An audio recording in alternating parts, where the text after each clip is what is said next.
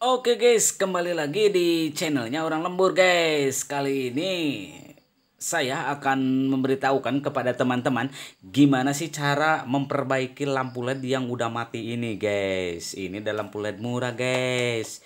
Jadi meskipun murah ini bisa diperbaiki ya guys. Oke, kita lihat dulu ya. Nyala apa kagak tuh? Ini karena disambung tuh guys tuh. Kita sambungin dulu ya. Setelah disambungin lalu kita colokkan ke listrik guys. Nah, mati kan guys. Dan tutorialnya atau caranya gimana sih cara hidupinnya ini hanya dengan simpel mudah dengan menggunakan pen ini lagi guys. Wah, caranya gimana? Ini lumayan ekstrim karena ini lampu murah meriah guys. Bisa dihidupin kembali tuh pennya nyalakan guys.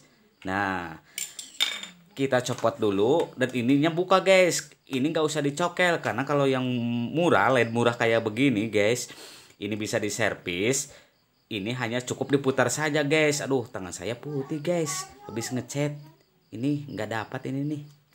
Oke kita langsung saja lah ke titik intinya ya guys. Nah kita buka dulu. Ini mudah buka aja guys. Putar. Tuh kan kelihatan coplok langsung. Nah meskipun ini dicolokkan ini tetap tidak nyala tuh guys. Nah caranya gimana? Seperti biasa guys hanya menggunakan pen bisa kita ketahui cara hidup apa kagaknya ini LED guys. Nih caranya begini guys, kita tempelin saja ininya dipegang ujung pennya, lalu kita tempel ke sini guys. Tek. Tuh, nyala kan guys. Kita lihat-lihat guys, satu persatu LED-nya. Yang mana yang mati, yang kagak nyala guys. Tuh bisa kelihatan gak guys? Tuh ditempel-tempel kayak begini guys. Itu nyala.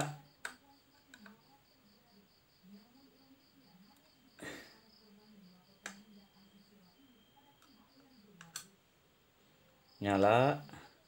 Kita lihat-lihat dulu guys. Nah jadi yang matinya ini ada dua guys.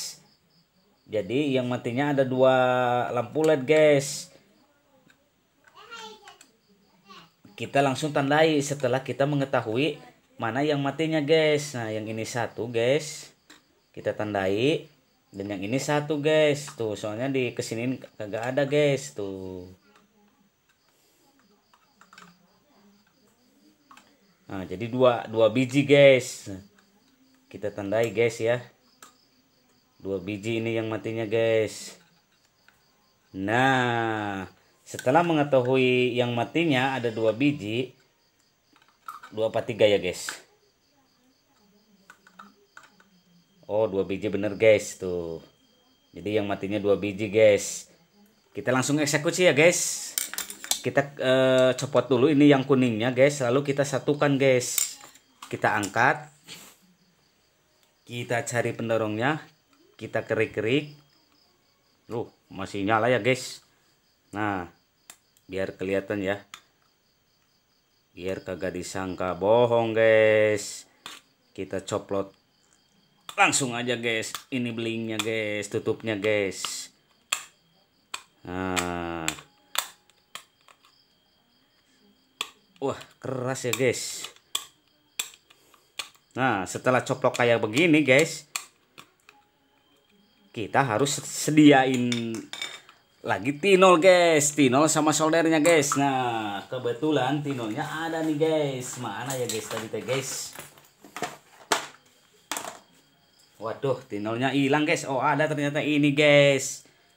Tinol sama soldernya guys. Nih soldernya kayak begini guys. Bagus ya guys? Oke kita langsung solder.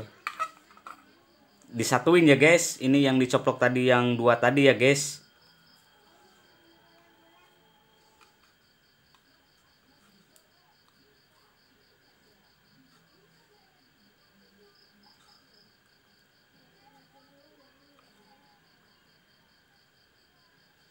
Nah, satu lagi guys, kita satuin guys.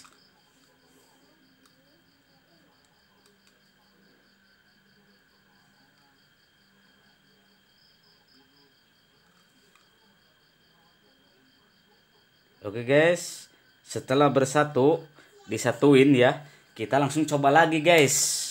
Nah, kita langsung coba.